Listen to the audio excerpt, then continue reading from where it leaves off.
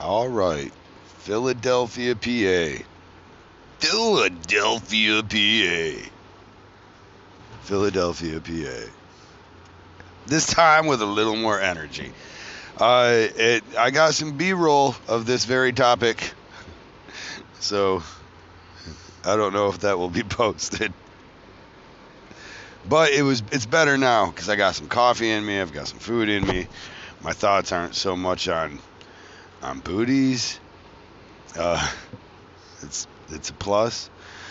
No, I'm talking about Philly. Philadelphia, the biggest tattoo convention in the world. Place where I get the fortune, the favor, and the uh, the fortitude. I don't know. I'm just thinking of f words really, but I get to go here. I've been going here for about 15 years. It's one of the largest tattoo conventions. It is. It's the largest tattoo convention in the world. I'm not wrong in saying that. It is like I went to a place. excuse me. Candy might be able to edit that out. she said she might be. Um, so I went to a place a long time ago called the world's biggest tattoo uh, show. Something. It wasn't. It was not. Uh, it was big, but Philadelphia is bigger. Maybe I have a bad impression of that time we went out. I think they changed between venues or something. But the biggest in the world. Should I just start this over instead of. I'm not running somebody through the mud, right? I'm just saying the truth the matter is Philly's fucking huge. That's what it is. See, a long time ago, there was a guy named Philadelphia Eddie and you should buy his podcast. I just found out that they're available. Like you should look for Philadelphia Eddie's podcasts. They pure gold. Uh, I, I read the books and uh, of the audio, and uh, it just makes me want to hear him say the same stories.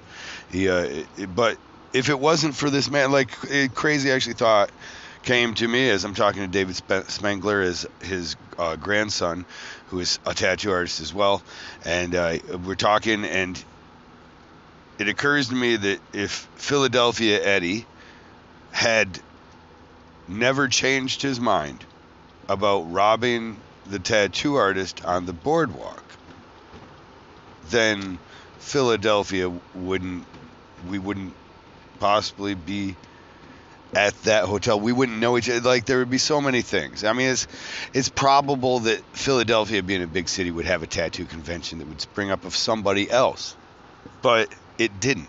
you know, like it didn't. It was because of Philadelphia's Eddie's decision on the boardwalk not to rob a, a tattoo artist, but instead to learn how to tattoo because that tattoo artist made some money.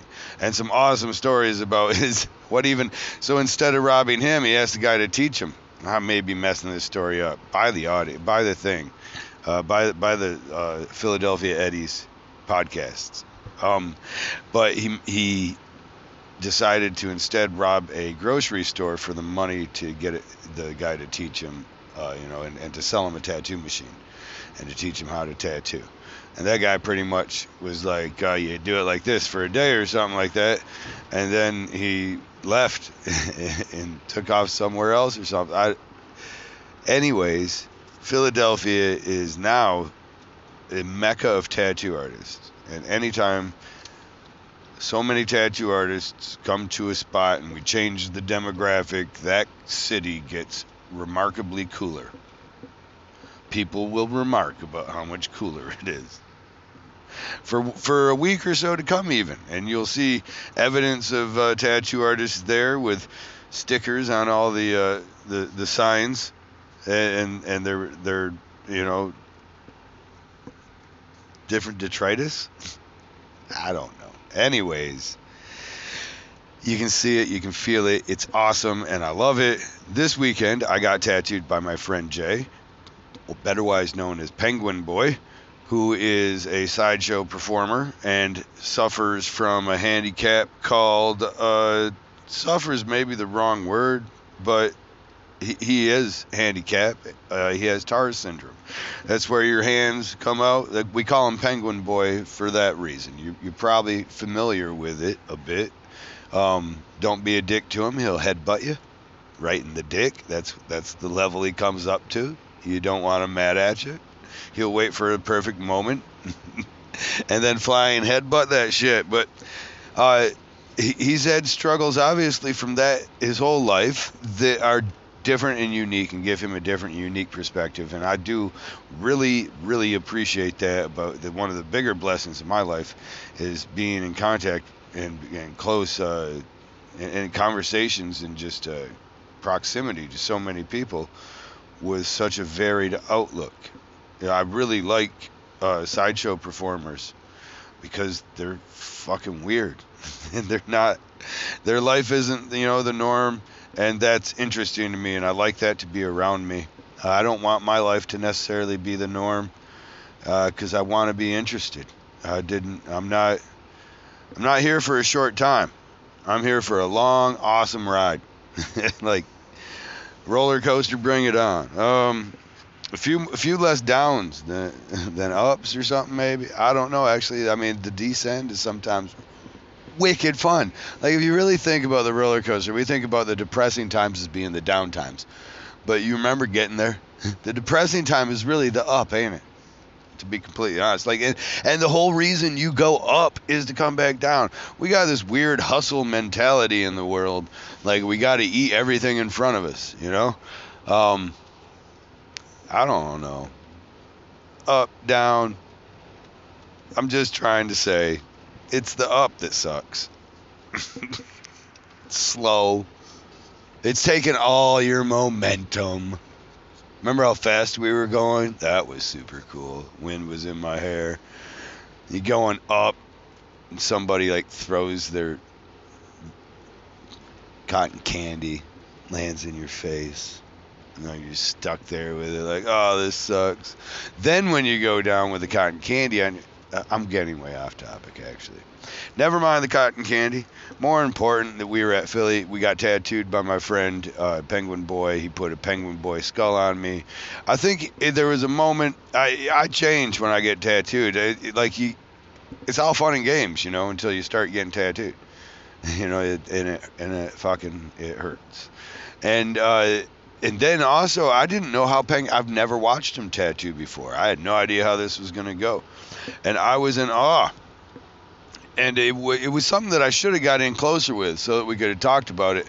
I think I saw him go through a mo- moment of swamp ass, and I didn't know how. To, you don't know how to make it better. As a tattoo artist, you get something called swamp ass every once in a while. Um, it, for instance, it, tattoo artists will know exactly what I'm talking about. They, I don't even need to explain it to you but the, there is some moment maybe where you recognize you've made a mistake in a tattoo. Yep. You got to reveal it or figure out to cover it up or figure what you're going to do. Are you going to try and dance around the mistake in front of the person who's watching you intently? Right? and have an obvious problem with it. Uh, or are you going to address it and work together with him? Or are you guys going to um, just act like there there isn't an L in Ashley, you know? Try and finish up and and no. At any rate, uh, that's called swamp ass. That moment, and I'm sure everybody gets it throughout their life. But I think I think Jay went through a moment of swamp ass at one point because I don't know if you met me, but I'm super fucking cool, and people like me. I don't know what's wrong with them. I don't tell them to. Uh, but we are all in the hotel room. Um, and yes, hotel tats, party tats still happen. Probably shouldn't, but you, it's you know like. to, to get his glove on, he had to kind of maneuver. He doesn't have elbows. He's got the cutest little hands that flip up like penguin flippers. And he can flip them around like a little penguin. And he can do crazy shit with a different level of dexterity than you or I have, but he has no like even bridge hand to tattoo with. Because he can't he can't really bridge. Someone else has to stretch the skin. He can't gauge depth as easily. So this is more like he's airbrushing almost. Uh, and he also sits on the ground to do it. So we picked a low spot on my leg, and he actually picked it. Maybe he was being a dick on purpose, but he put it right over top of my ankle bone. That fucker hurt. The lines hurt. And then he started shading it in. He got some nice whip shading in, and I think he wanted to keep trying to get the whip shading down.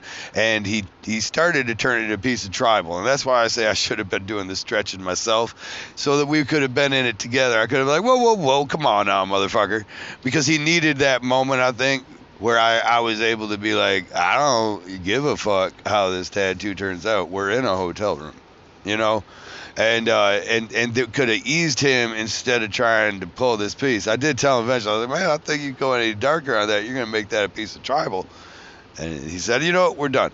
So he finished right then. So I think we're, I think I was out into the right area of it.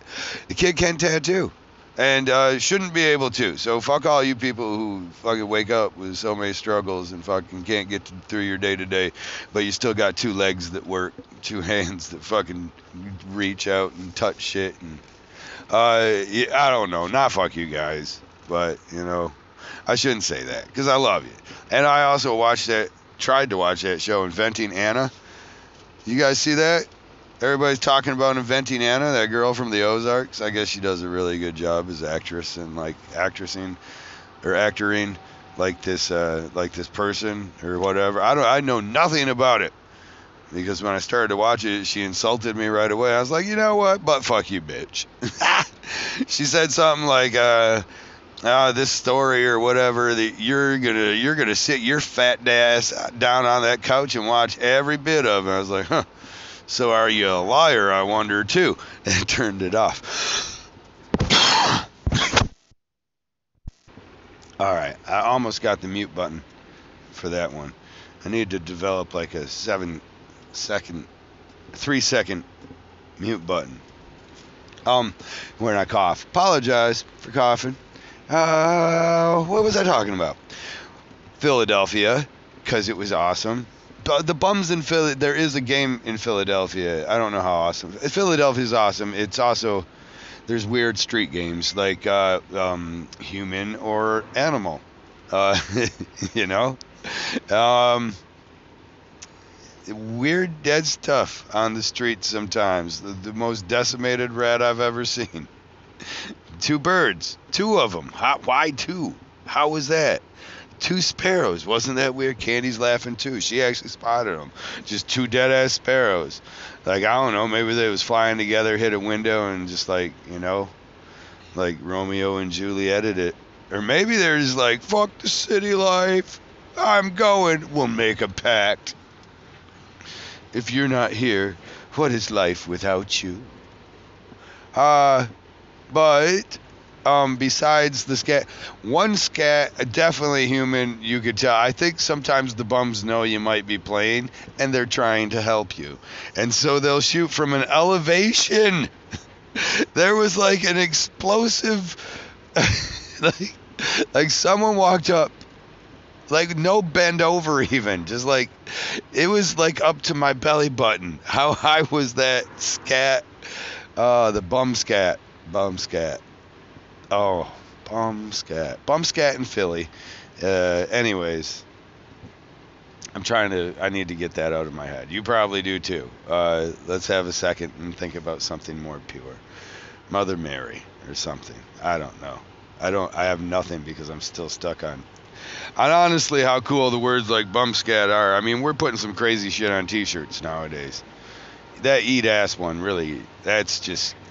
That one that one makes me pause a lot, even now. It's like we're advertising this.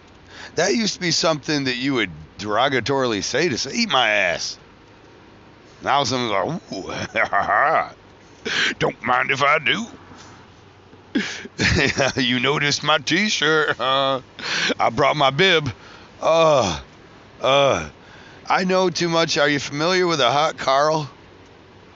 Or a Cleveland steamer. Hot Carl is the the better version of the Cleveland Steamer? I, gue- I don't know. When you know these things, you don't want to, and then but sometimes you have a brain like mine that travels across the country with nothing else. But ours, my wife doesn't trust me to drive. Listen, I'm a better driver than my wife. I've saved our lives. She stands there in defiance, and right now she's like got this uh, downturned frown, like ready to sneer. Uh, then I'm to turn into a smile because she knows how many times I've been whoa, whoa, whoa. She's gonna just take us right off. But here's the thing, I'm um. I'm a better driver, but also speed and uh, and sometimes road rage. A long time ago, road rage. I mean, if you're an exceptional dick, uh, you can bring it out in me.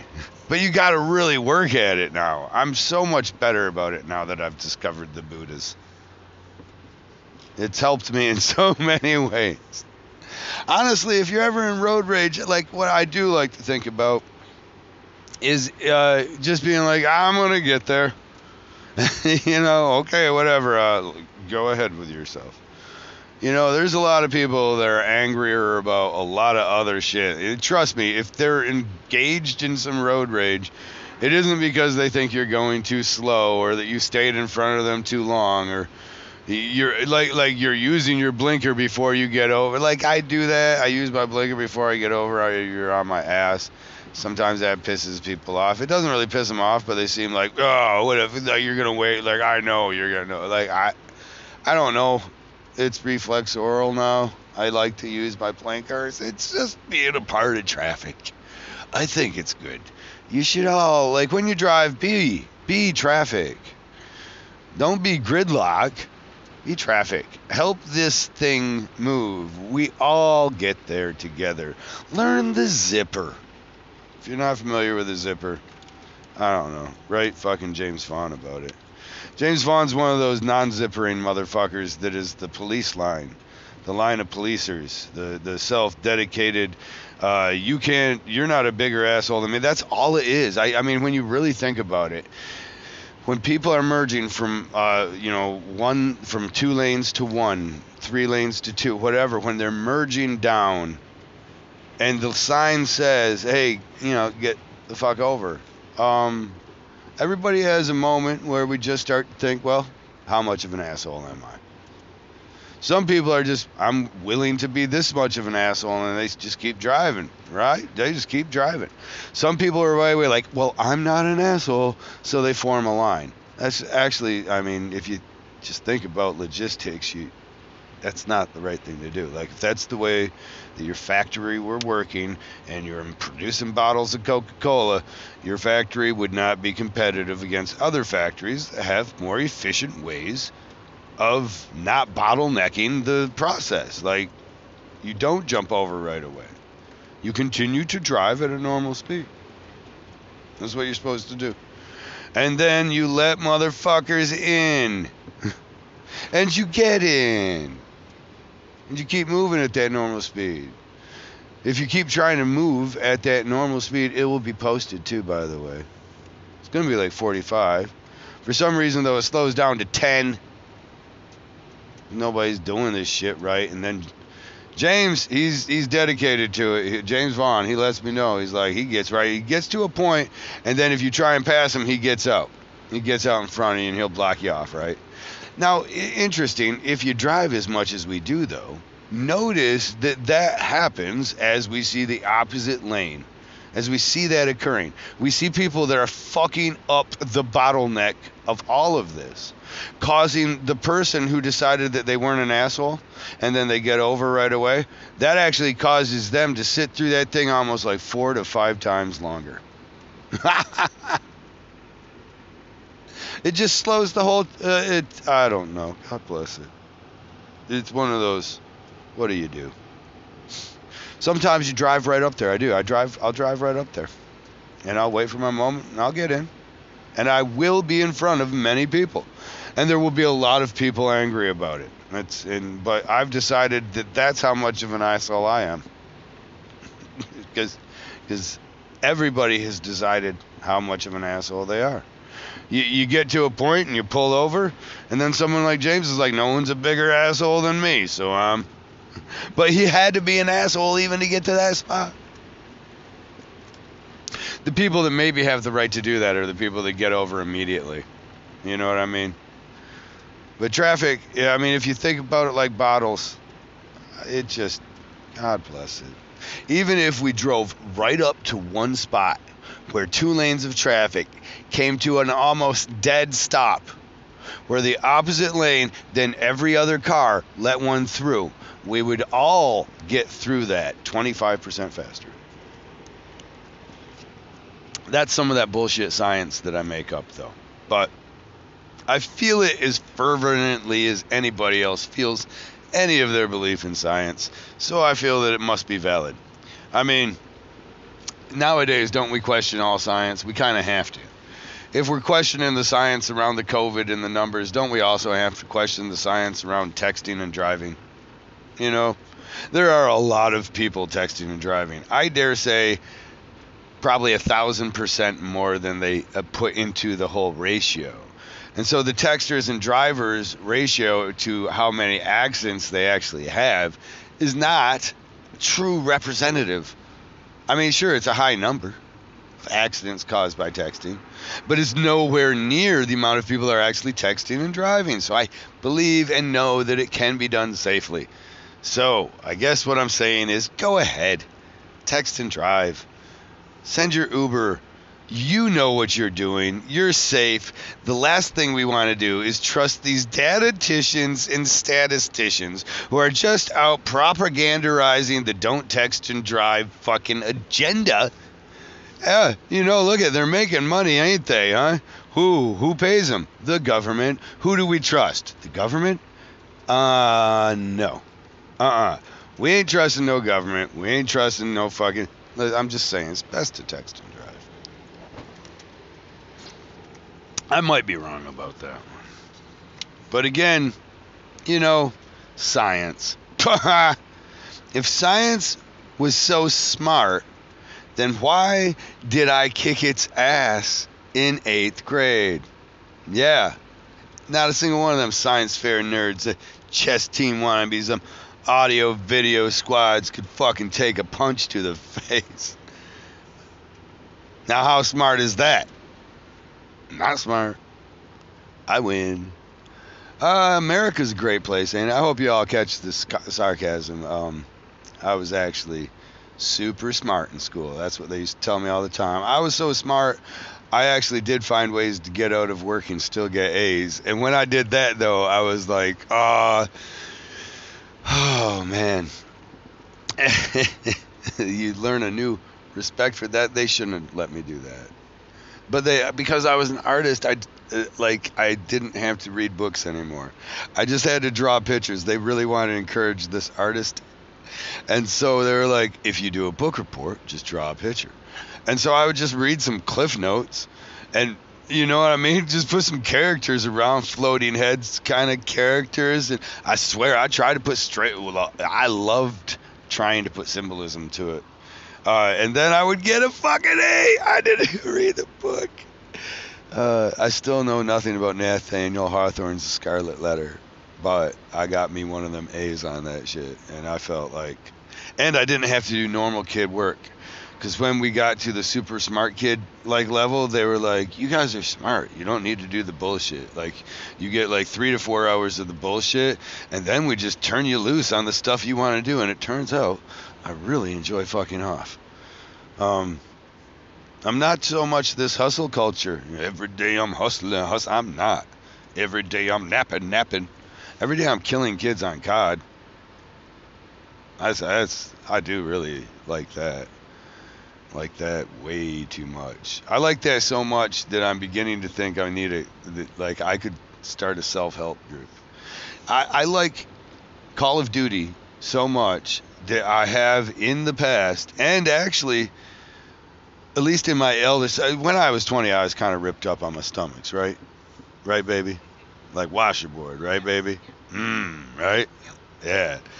Glory days Well, not so much because Candy married me. That's what happens. The average man gains five pounds a year if he's not cheating on his wife. So Candy's always looking at me suspect if I'm not finishing my plate. It's a weird dichotomy. And yet I want to have a washerboard ad, but I don't want my wife to be suspicious every time I'm not around her. It's uh, it's tough. So, at any rate, what I've done to fix that situation is uh, have a um, kind of a dad bod, a strong core, and a nice padding for the winter months.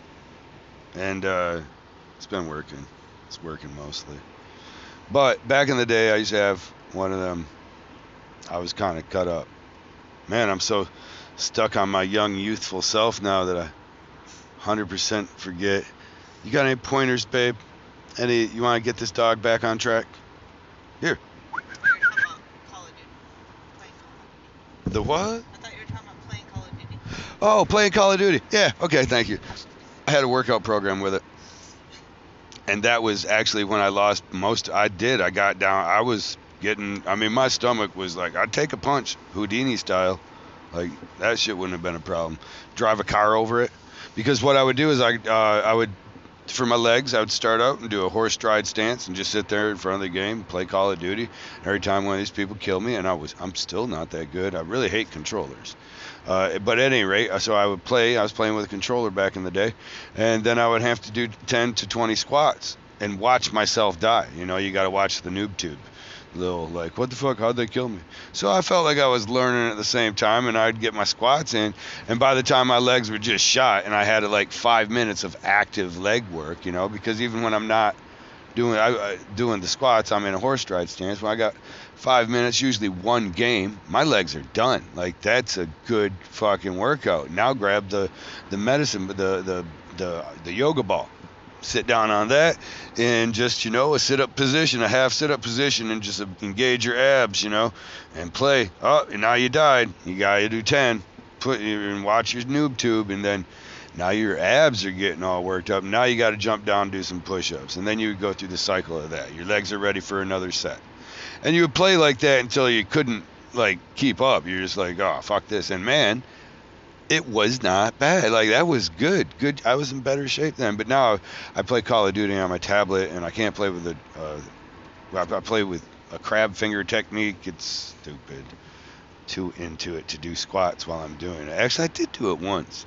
I should set something up, but you can't play as good at all like that. I should just grab a controller and then play controller style, grind some camos out, but no one kills me when I'm playing that way. Like no one's as good as me. Uh, no, not true. Uh, it's just you're playing against more bots in that fashion, and then I don't want to risk my rank playing against like actual people in ranked mode, but while I'm working out, because I already struggle to keep up in ranked mode. I may be explaining this Call of Duty um, too much, but hopefully you're catching the addiction of it and the the scent of addiction the desperation I have even now to like pull out my hotspot while traveling through these Pennsylvania mountains and deal with a 60 ping and a oftentimes lost internet connection. You just where you just end up standing in front of some kid and he's like, "Look at this idiot," and he just kills you. Takes his time, and you know you'd have him if you had a good internet. For just a good internet. But what was the other thing I was talking about? Oh my God, you're they, you. I should have you. You should be a more vocal part of the show, babe. So I'm talking about Philadelphia. All this is really to talk about Philadelphia Eddie, uh, and his his podcast that you should own, um, that you will thoroughly enjoy. I can't imagine that they they charge enough for them. I don't know. A pop. You don't charge for podcasts or Their podcasts are free? No, they told me that there were some audio books or something. I don't know. I'm gonna get them because I already lost my volume one, where I have where the story is told about him going to the store and the he robs the grocery store instead of the tattooers to buy the stuff for the tattooer. But to hear it in Philadelphia Eddie's voice, I had the fortune to meet him. Um, I didn't get to know him nearly as much as other people. This is uh, this funny thing. Like he actually died uh, before Lyle, and it kind of made me realize the value of Lyle. And then, of course, vi- uh, uh, also Shanghai Kate um, and these uh, Bowery Stan, these old timers that we really aren't going to have with us much longer, and you should get a tattoo from because you're supporting a cause and you're carrying a piece on you, and it isn't in these cases as much about the quality as it is what it is, what it, what it means. Like it, it seems to encompass so much more than that. You know, just your and then honestly, the stories and the time. I, I, I started paying attention more, I think, to Lyle after um, Eddie died, but Lyle wasn't really that active. But I, I was fortunate enough to several times get to sit down with him in a way that I never got to with Eddie. Uh, not that Eddie wasn't accessible. I would always be like, it's such a great show. It's one of the pains of, it's like one of those things where you realize work versus uh, quality of life. And whereas you come to Philadelphia and you had such opportunity to work in front of you because it's such a huge show, that you would squander your quality of life at times. You know, Eddie wasn't staying up super late, or if he was, he was already by, in a private room by then, and I wasn't invited. But there were times in the night where I, I could have had ample time to hang out with the guy all throughout the day, buy him all kinds of screwdrivers, and and then, uh, but instead I'm I'm tattooing some stupid tattoo that I probably didn't even like doing, you know. but hopefully, I hope one day somebody can treat me like that, like some old timer that uh, you just buy him drinks, listen to him bitch about everything the way it is now. In my day, we had real machines, not these. we had we had machines that looked like pens, not these newfangled things you, you put on a helmet and, bra- and brainiac it into the skin. I imagine it's going to change quite a bit in the future it's like I've seen so much of it change in my life, certainly the technical aspects of it. There's going to be a computer that, that helps you approach your design, I think, first. It's going to help you, you know, do the saturation and, go over problem areas. I mean, honestly, if you mapped out an arm and then could keep that map in your machine where your machine had a like a, a respect of what ligaments and muscles and uh, density of skin was there, all that's going to help it, or with a, a, proper run computer with great algorithms. I don't know this shit. I'm just saying there's wizards. I'm just the visionary. I'm just the genius that knows. uh, anyways, telling the future. Philadelphia is an awesome place. Did I already say that I got tattooed by Penguin Boy? Put a penguin head on me. I think I gave him swamp ass. Uh, I think I think it was, uh, but I couldn't be more excited about my right leg now, especially. I mean, honestly, it's my favorite leg. It's my favorite tattoo area. It doesn't have the most skill to it. It doesn't have the best tattoos to it, but I would all of those are more personal to me than many of the others. I mean, I, all of them are personal. Once you get a tattoo, that's it's pretty fucking personal. Like it, it takes your even if you're just getting some fucking tribal thing, you know, you're going, you're joining a fraternity of people that have felt that pain, that have some understanding of it, and not that we're all the same. Thank God, we're all different. We all say different stupid things, you know. Uh, but uh, and and and it's fun. I don't know. But when you go through that, it changes you. It makes you somebody different. It tests you. You come out a bit different. You're changed. And but on my right leg, I've got my son, I've got my brother, my wife, I got Penguin Boy. I'm lasering off. Uh, my, one of my wife's. Well, that needs to happen. What's that? Oh yeah, I'm late, and and Candy that was a cover up, but I still got a cool Colin piece on there. Colin did a, a piece with his devil with his wang out, and then Candy did a tiger, a toothless tiger, on it to, as a cover up. Simple mistakes we make when we're so she like you get a line drawing and you got a tooth there, right? and there's this line, and you can go on top of the line, right? You can go to the outside of the line, or you can go to the inside of the line. And sometimes it's hard to see what's going on through a black puddle. Well, Candy went to the inside of the line, which just gave me a toothless tiger. There's like no white because as it aged, you know, back in the day we did tattoos where like the scar was just kind of like, oh yeah, it'll raise up. Rain's coming. it's gonna raise up, of course. I mean, what you thought it was gonna be the same? I don't. I only. I feel only recently I realized that tattoos don't have to hurt. Like. That is scary. Going through a tunnel down underneath this mountain, big old swash of water like a waterfall. Like this was a fucking car wash. Okay, we're coming out the end though. Like that thing's about to crack in the middle, and we're gonna make some TV movie about trying to escape the rubble of the Kittatinny Mountain. Kitta and Kittatinny, the Kittatinny, the Kittatinny River, Kittatinny Mountain. So at the Kittatinny Mountain, Kittatinny, Kittatinny, Kittatinny. Well, there. Yes, I see it. It's still freaking me out. That's why I'm talking about it and not freaking out. All these drips of water through here do not imply bad structural integrity. This is concrete. It is supposed to be permeable to water. Right? Isn't that a thing? I mean. Just say yes. It's completely normal. You know what? All concrete. This is what I hear from concrete guys. All concrete crack. It's just it's all it's gonna crack. That's what it is. it's all gonna crack. How do they build skyscrapers out of concrete without it? They can't be the all concrete. Maybe they just mean all foundations crack. But how do they put down foundations that aren't like that one in Miami? Hmm? So what I'm saying is Philadelphia is a great tattoo tat- convention to come to. You should do it.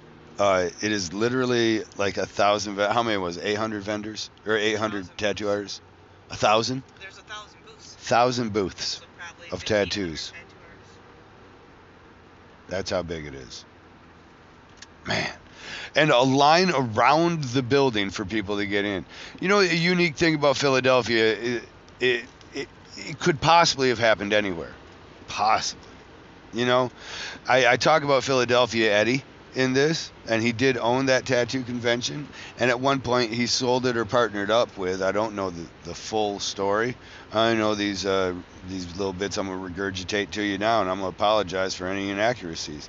But Troy Timpel is the person responsible now for the Philadelphia Tattoo Convention, and really he's he's the the reason behind the success of Philadelphia Tattoo Convention and the success behind Villain Arts Tattoo Conventions, but also more importantly about Philly. Philly is a very heavily tattooed city.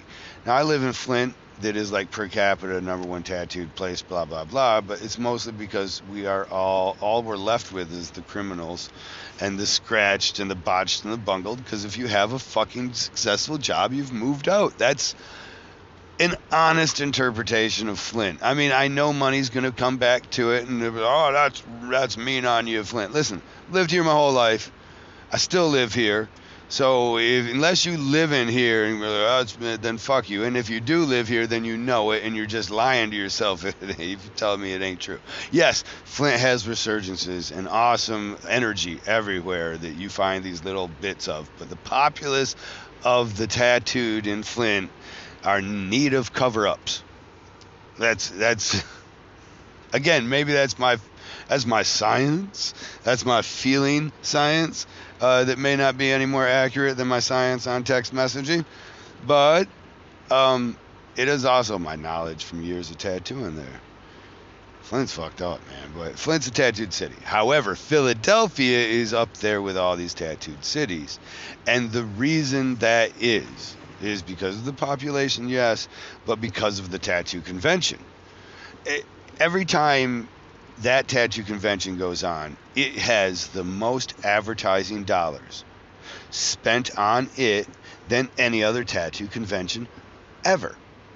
Every year, without fail, even through COVID, right? They did it through COVID somehow, didn't they do every year in Philly?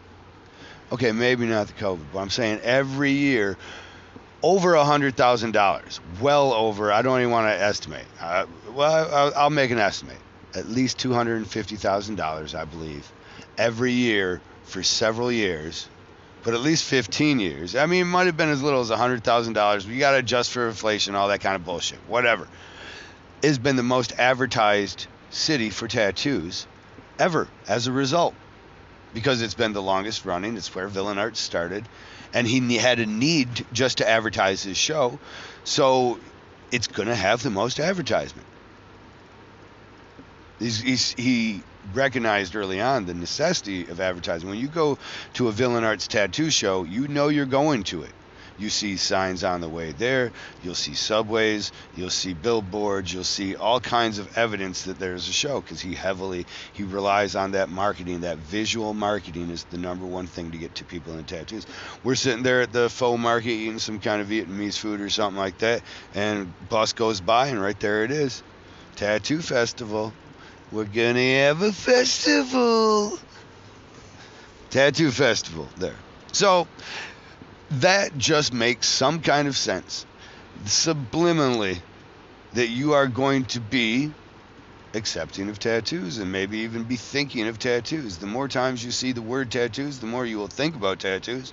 The more time you see the word tattoos, then the more time you think of tattoos, the more time you will think about yourself getting tattooed.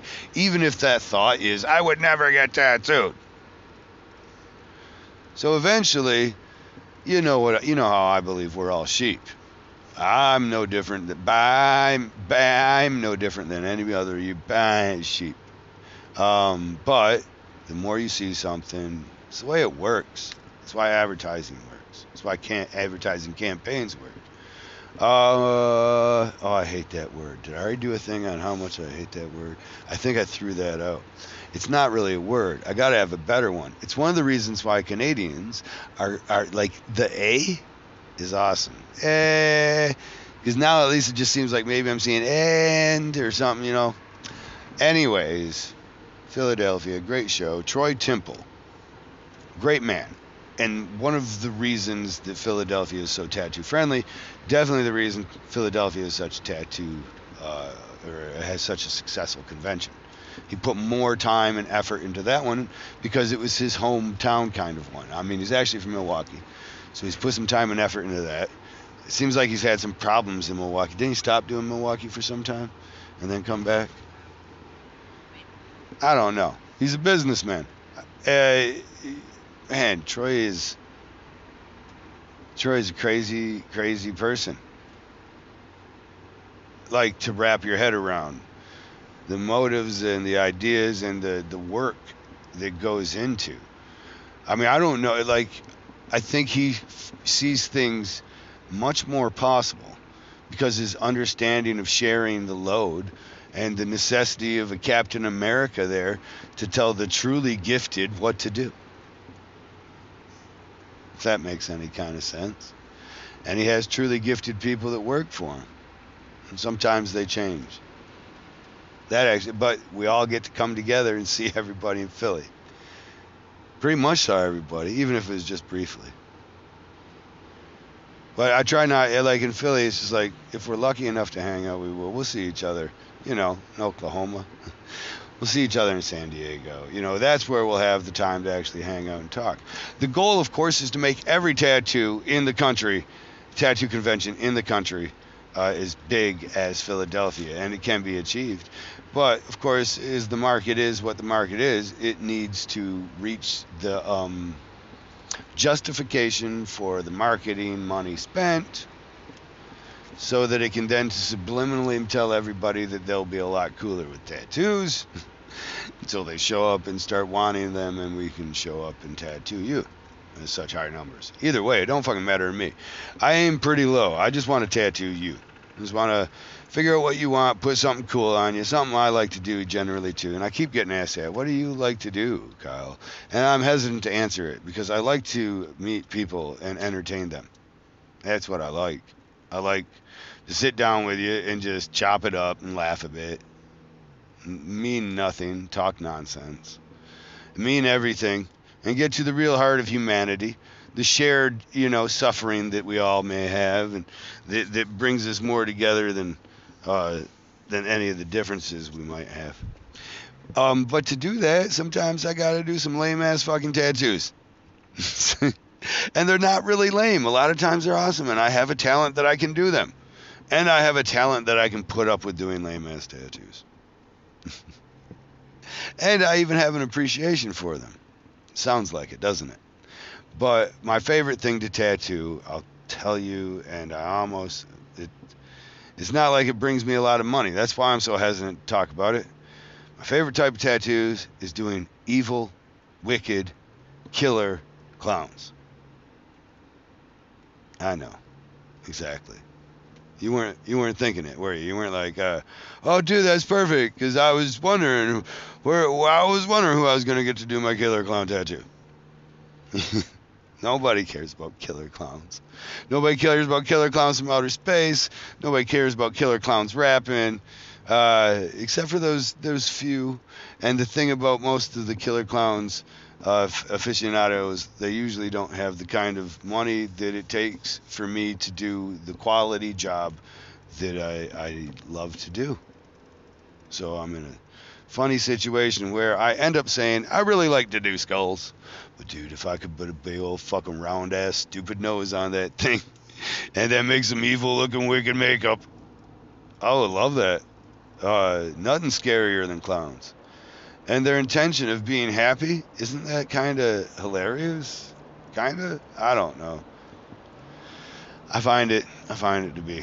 Um, and they do such great work with cover-ups. I mean that you can just cover up with a wicked killer clown you know half his face could be gone he could be a zombie he could be a, a skull he could be you get a lot of leeway with that and what is somebody you know sometimes you might be trying something like what is that? He's supposed to be a Batman, but you, yeah, let's just call it a clown. missed, missed the mark. Those more look like puffballs than they do bat ears, so fuck it.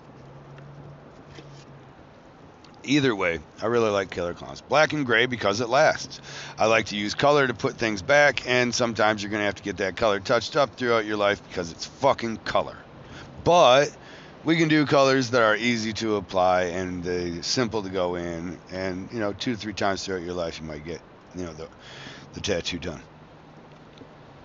done in that color simple area simple color people say uh, maybe a little bit of color a lot. I, and I, it's never really understood or, or known to me what just a touch of color.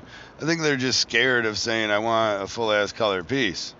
But you, you know leave some openings you know for for the shit to breathe. You know, don't hurt me or don't you know uh, spend all day on something ain't gonna last. You know i don't want you to put white everywhere on it and then you get a cool photo and I see it the judging table and it's like was that a tattoo even? It's ah philadelphia troy timpel um philadelphia eddie now i'm just saying names one of my favorite things to do is be a name dropper. Uh, and one of my other favorite things to do is when people are name droppers is to, is to pull call them out on it and act like I'm picking it up. oh, let me get that name you just dropped there. just the dickhead in me. Uh, name dropping is awesome, and it should be done appropriately. Should you do it appropriately? Yeah, you should do it appropriately. All right, here's that mute button coming. Whoa, see, you didn't hear that sneeze, did you? Oh, I love sneezing, though. You like that? You ever pull a nose hair out just to get a good one going? You start to see them stars. Am I the only one? I find out that that lady said I might have. She, I got a procedure done this weekend on the base of my neck. Here we go off the pot topic. Uh, I get a procedure done on the base of my neck. Still a little bruised from it. Uh, she basically took this fucking uh, I don't know jackhammer with a very fingertip pinpoint pressure and she applied pressure to the base of my neck, running all the way down uh, the muscle body there on on sides, specifically after doing a long evaluation on my neck. And so far, it's it's been pretty awesome. Man, I want to temper, like I want to be like, oh, fucking awesome. Uh, but the, some of the pain started coming back a little bit. You know, she said that would happen, and then I'm already used to living with the pain. Did I already talk about this? I already talked about this. Because I already talked about the whole. Anyways, what did she say she, that you had? Who said that I had? Candy's helping me. who, what did who say that I had? That she told you you had something. The the girl doing my neck? Oh, that's what you're A sexy body is what she told me I had. And she said, "Would you hold it against me?" I was like, "Please, I'm married." Meaning, please. She just asked to sign off. Do you have a consent form? And then we went looking for you. You couldn't be found. I was wasting the girl's day. She charges 250 for the fucking 10 minutes. It's fucking crazy. So she had to go back and make some money. Missed an opportunity there, baby. Well, not really, because I know you wouldn't have signed off. Um, she said nothing. Uh, can we edit that out? can we?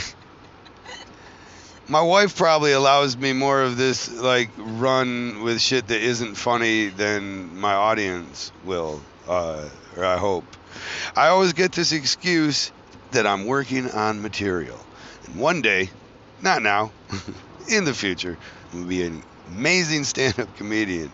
But it's gonna take a lot of research, and I don't have all the time because I've dedicated so much of my passion and interest to, well, tattoos, Call of Duty as well. Um, but, but so the jokes might suffer. It might take a long time to get there. And Candy, actually, we got an argument early on in our relationship. Um, one of them, you know, oh my God, you need to pay more attention to me arguments. Uh, and don't chop me. We're driving through the mountains. Don't get us killed. I got to cover my throat a little bit. Cause, cause even though it looks like my throat would eat a chop, a knife chop, hasha, as I have learned, my wife's gonna wait till I take a drink of this coffee she bought me so lovingly. Thank you. I love you. See, I'm softening the blow.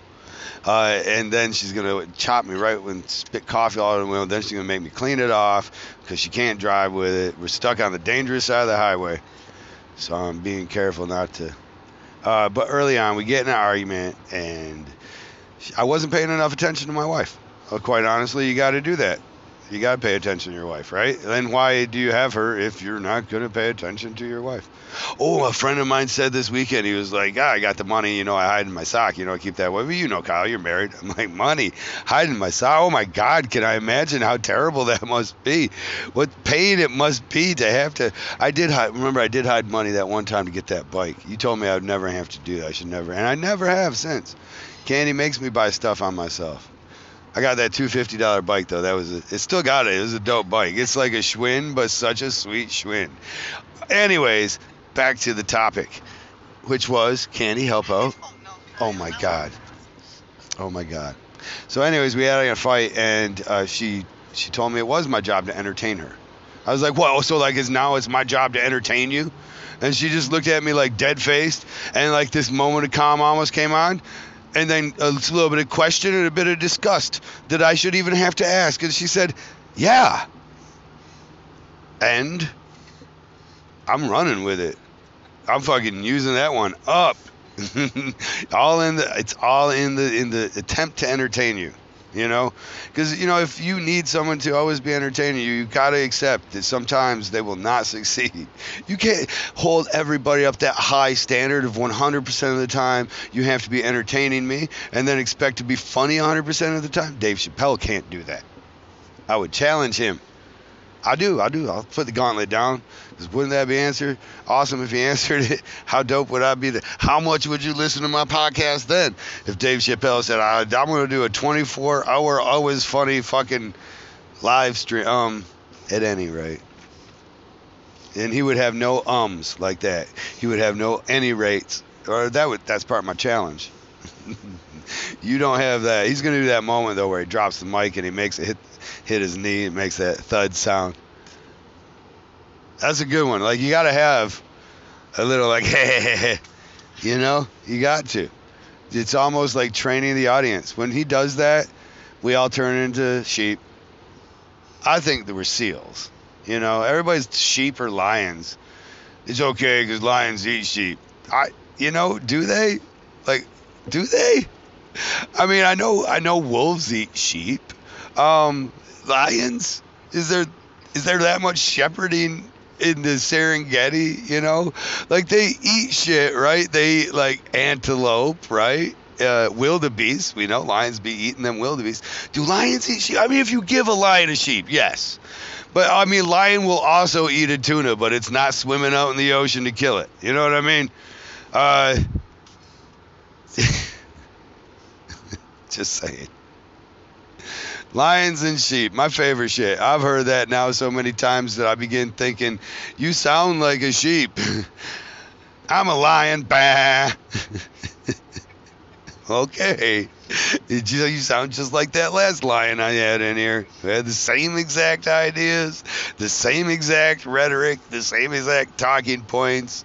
He obfuscated from the argument in the same exact way. He backpedals from the claims that you would stake him to in the exact same fashion. It's as though their argumentative even even formula is being programmed by somebody somewhere that is I'm going to call him a fucking shepherd.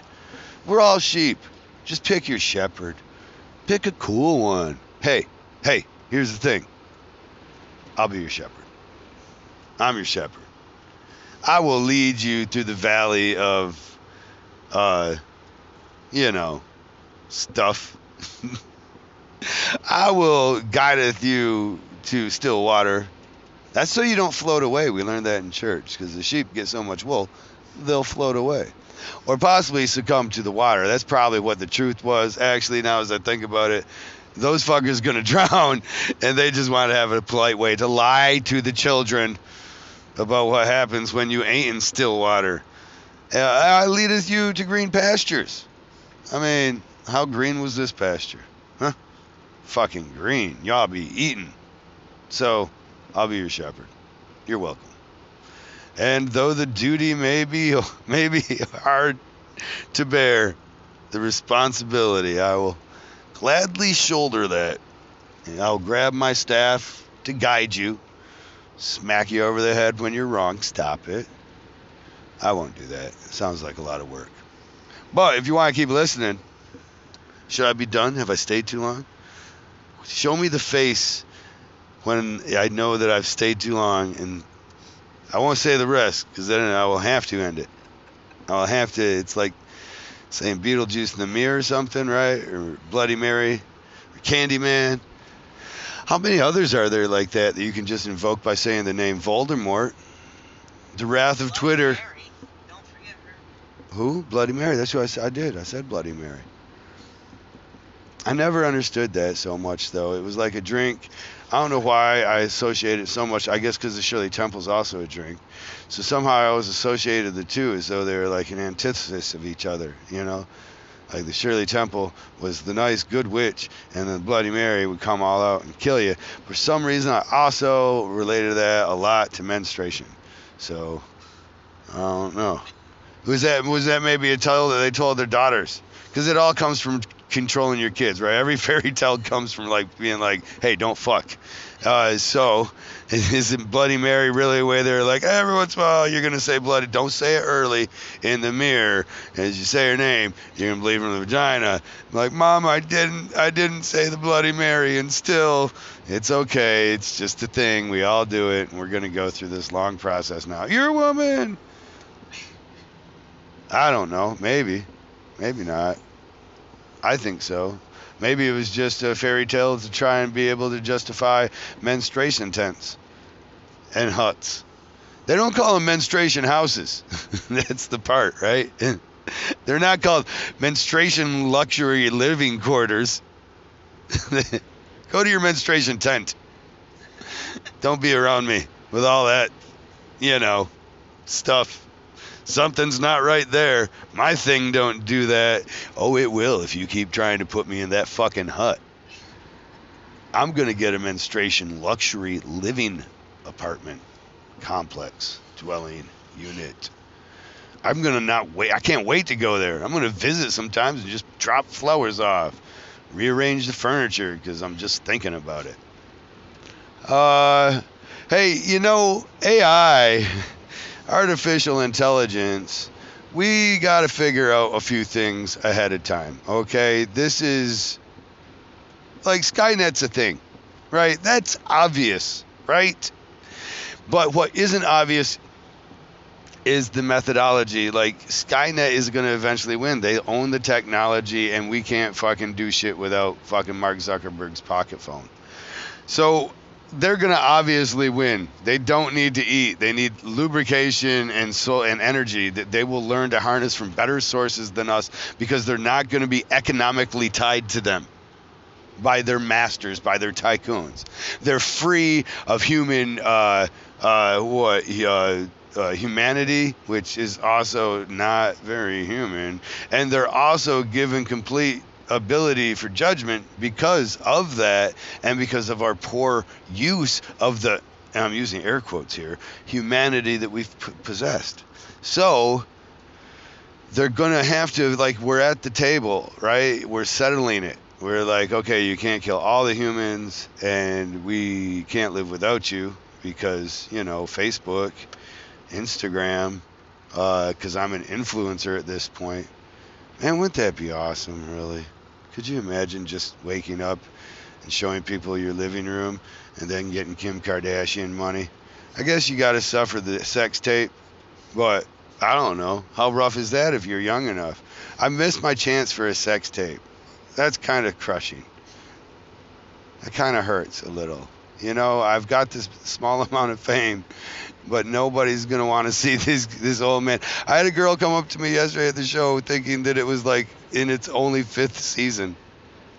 She's only watching it on the Netflix or as it gets released or something, and she thought it was like, oh, they just finished another season. She said I lost weight. It's like, yeah, I'm getting old. I'm shrinking inward. I'm imploding. What was I talking about, baby? Get me back on point. What's my problem? Bloody Mary, menstruation huts. I don't know. It was important. It was really important. It was mind blowingly important. It was going to change the world. It was going to be the moment that I could say that I'd stayed too long. And then I'd be done. Now, if I did it, it would really almost just be a sad retreat, you know? So I guess I have to talk about how much I love coffee until it comes back to me. you love coffee? Because I love coffee. I love coffee because it's uh, you can do it legally and no one really freaks out. I wonder what it would be like for me if you could buy coffee like you can buy cocaine. Oh, vice versa. if everything was gone with it, would I still be? So I don't do it. I know I love it. I ain't giving up on the love of it, but I, I don't know. Cocaine. But coffee's a really good substitute, and it tastes awesome. There's that unfortunate moment of coffee's life where it's like now you're just kind of drinking it because it reminds you of how good it used to be. You know, at the temperature that it should be, but you're wearing a styrofoam cup and you're talking in a microphone driving through the Pennsylvania hills, so you don't have time to drink. People need to hear this. And uh, and then there's that moment when it actually gets cold where you left it in the car last night and you're like, actually, this is awesome. I love a good cold coffee. And now it's to the perfect temperature, but then there's that shitty temperature in the middle. Maybe that's like the roller coaster ride. Right? Maybe that's like the roller coaster ride with the valleys and the dips. And actually, the in betweens of both of those things really suck. But there's the anticipation of the bottom and there's the anticipation of the top and those kind of you know even it out. And then there's the tops. They are fun. That moment where you get a second to kind of breathe for a moment, be like, "Oh my God, we're on top of the world." Oh, we're gonna crash. They're gonna tear us down like Britney Spears having a bad day. Wonder what it's gonna be, you know? I think the world's headed to a better place. Seeing uh, this this war with the Ukraine,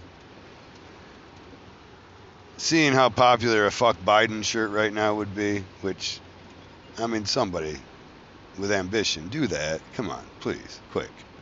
Fuck Biden shirt, right? Oh, is that? Oh, I'm saying Biden. they already probably have that one. I'm sorry. I I'm Kyle and I'm stupid. Uh, I meant fuck Putin. I guess it's a pretty pretty big difference, honestly. probably couldn't be more different at this moment in time. You know, uh, amazing how Trump's words are not mean to to the like he doesn't toe the if if there's any compliment to give Trump, that motherfucker does not toe the line. He is unique. Like you want to have a beer with him. You want to at least have him on stage. You know, just talk, fat man. Tell me more. I want to just everything. This is even if even if you hate it, you love it. Don't lie. there is a moment I had such hate for it, and I have to reflexively look back and realize, yeah, I loved that man. He brought he brought us so much, you know. If his time in politics is over, please don't let his time in the public eye be over. please let me still see the Trumpster.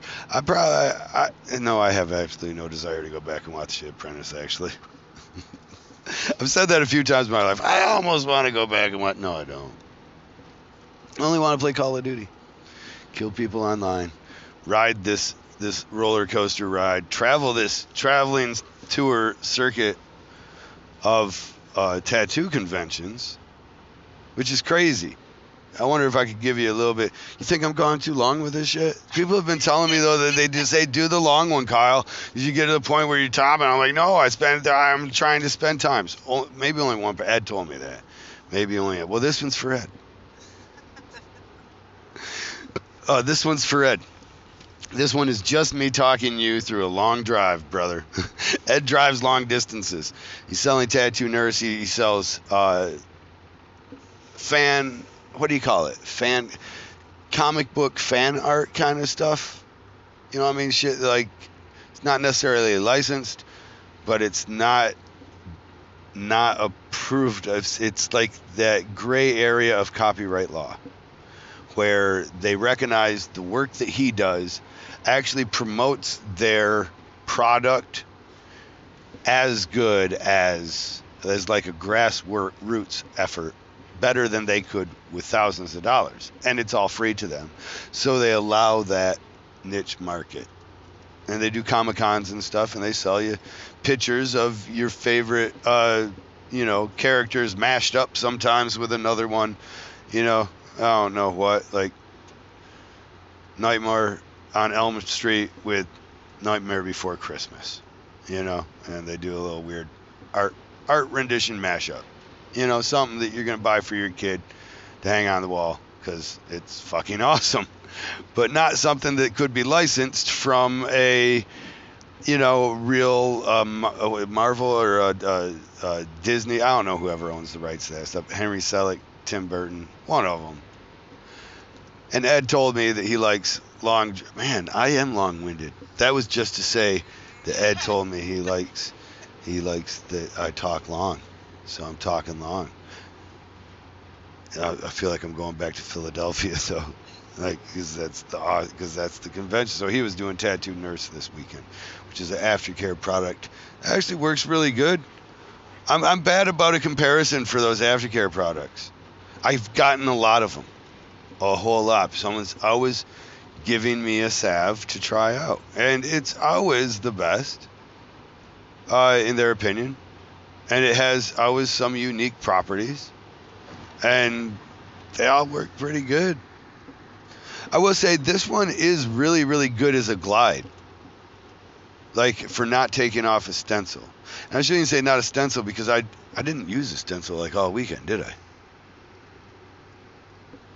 All I did, uh, I think I drew everything on pretty sure. So yeah, so like it, it worked for ballpoint pen, not taking that off, and and Sharpie, which is sometimes uh, you know harder to keep on the skin than a than a, a, a good printing paper press printing. Um, then the shit you get from Stencilvania. If you go to Stencilvania, that shit sticks, okay? Uh, but this, this, anyways, the product didn't didn't rub at it, and it did seem to take the redness down. In hindsight, I see that now. That's not the first thing that I've seen to take the redness down. It's certainly not the first thing that I've been given to be told it's it's for taking the redness down.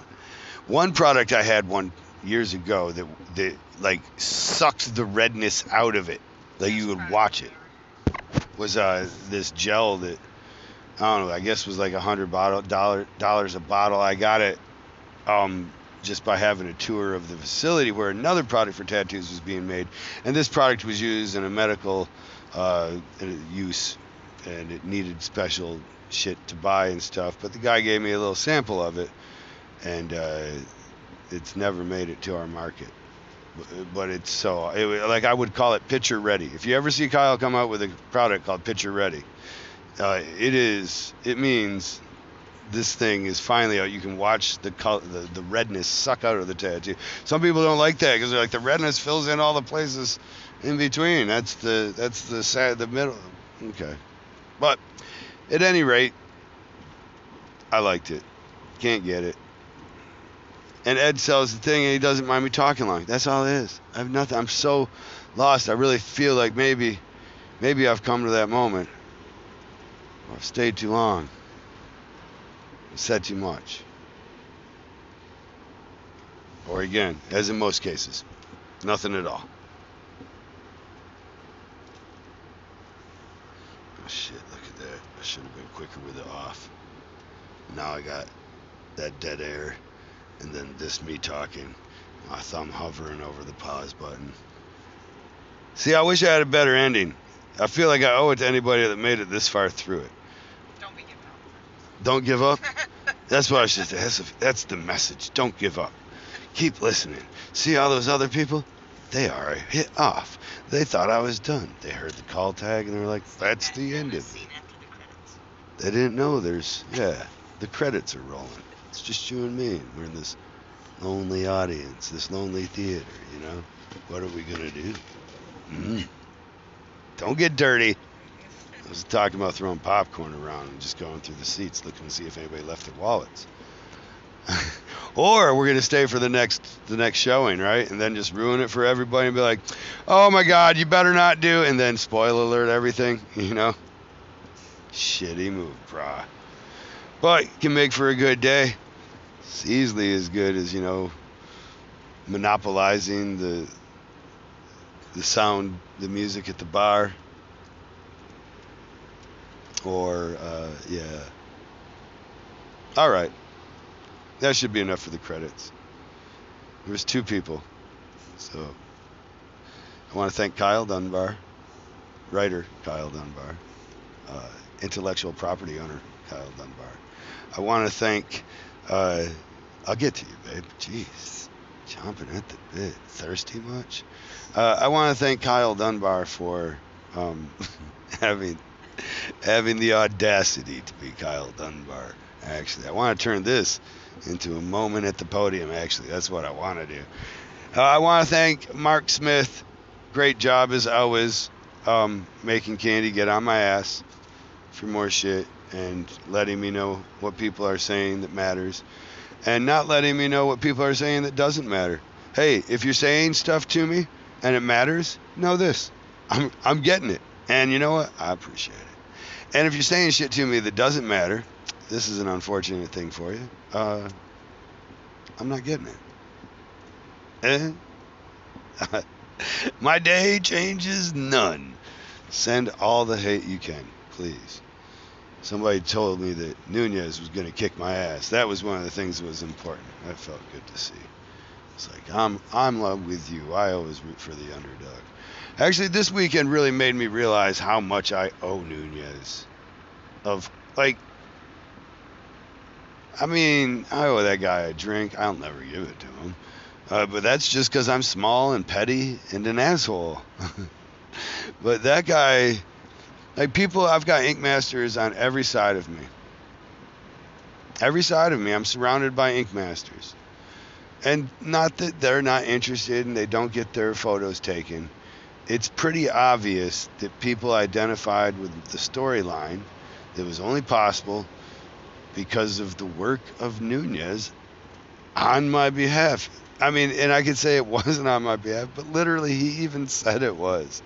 It's weird how as much of a lie as it was, it is also true that he made me perform better by sticking me in the ribs and giving me a hard time and not allowing me equal footing of anybody else. Although he made it harder for me to tattoo, he also made my performance, my trajectory over this uh, this epic time.